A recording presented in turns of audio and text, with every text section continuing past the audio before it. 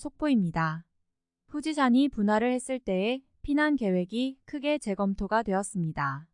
대피 대상자가 확대되고 차량에서는 정체가 발생해 지연되는 경우가 발생할 우려가 있어 대피 방법이 도보로 바뀌었습니다. 그런데 과연 용암류에서 도보로 도망치는 것은 가능한 것일까요?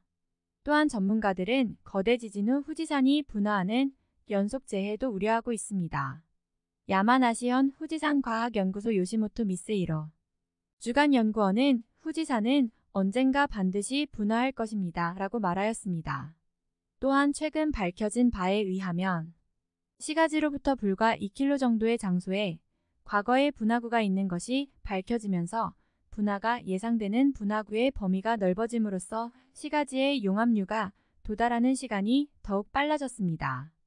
고령층들의 도보 대피 시에 과연 차량이 아닐 경우 도보로 후지산 분화 피해를 피할 수 있을지 우려가 되는 부분입니다. 야마나시 후지요시다시와 시즈오카 후지시 등에는 후지산 분화로부터 불과 2시간 만에 용암류가 도달하고 12시간 후에는 시즈오카 스소노시 등에 도달할 것으로 예측되고 있습니다. 게다가 가나가와 현의 일부 지역까지 도달할 가능성이 생겼습니다. 또한 피난 대상자는 약 1만 6천 명에서 약 11만 6천 명으로 7배가 되었습니다. 등산객이나 관광객을 더하면 더 늘어날 것으로 보입니다.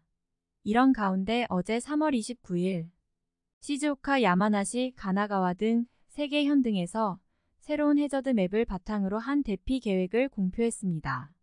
크게 달라진 것은 피난 방법입니다.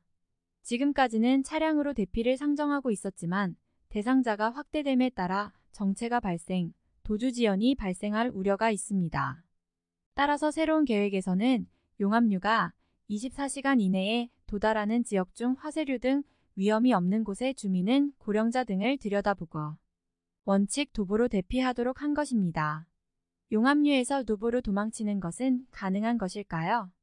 대피계획 검토위원인 요시모토 연구원은 인간이 걷는 것보다 느린 속도로 흘러나오기 때문에 충분히 걸어도 피할 수 있다고 주장하고 있습니다. 새로운 계획에서는 등산객 등의 대피 타이밍도 제시되었습니다. 등산객은 기상청으로부터의 분화, 전조에 관한 임시정보가 발표되면 하산을 개시, 관광객들은 분화 경계 레벨이 3이 되기 전에 대피하는 것으로 알려졌습니다. 후지산은 언제 어디에서 분화할지 모릅니다. 요시모토 연구원은 규모와 화구의 장소 등 다양한 분화 패턴을 상정한 대책이 필요하다고 주장하였습니다. 또한 또 다른 우려는 대량의 화산재입니다. 야마나시현이 실시한 자동차 주행 실험에서는 후지산 화산재를 도로에 깔아놓은 후에 차를 몰면 타이어가 공전하여 진행할 수 없는 상태가 되었습니다. 후지산 주변에서는 화산재가 최대 50cm 이상 쌓일 것으로 예상되고 있지만 사륜구동 이외의 차량은 화산재 두께가 10cm를 넘으면 움직일 수 없게 되는 것으로 나타났습니다.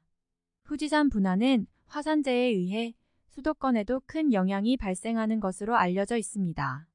300년 이상 전에 일어난 호에이 분화, 클래스의 분화가 있었을 경우 화산재가 쌓이는 양을 나타낸 그림에서는 화산재는 편서풍의 영향으로 후지산 동쪽을 중심으로 많이 쌓인다고 되어 있습니다. 후지산에 가까운 시즈오카 고텐바시에서는 50cm 이상, 가나가와현의 현 중앙부에서는 10cm에서 30cm, 도쿄 도심 등에서도 2cm에서 10cm 쌓일 것으로 예상되고 있습니다.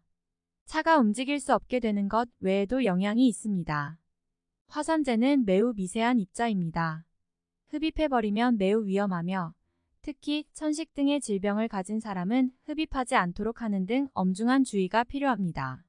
또한 전선이 합선되어 정전되거나 정수장에서는 취수가 되지 않아 단수될 우려가 있습니다. 대량의 화산재가 밭을 덮어버리면 농작물 재배를 하지 못하고 장기적으로 수확량이 줄어듭니다.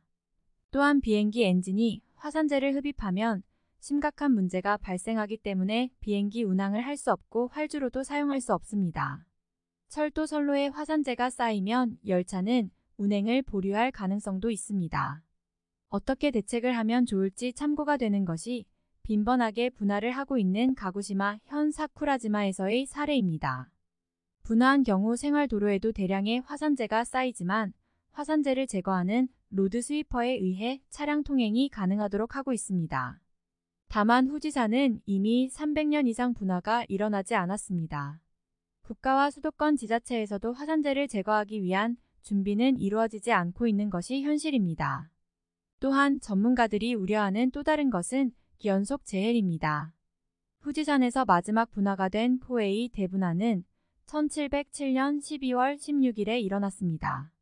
이 49일 전에는 난카이 트로프를 진원으로 하는 거대 지진 포에이 지진이 발생했으며 이를 방아쇠로 분화가 발생한 것으로 알려져 있습니다.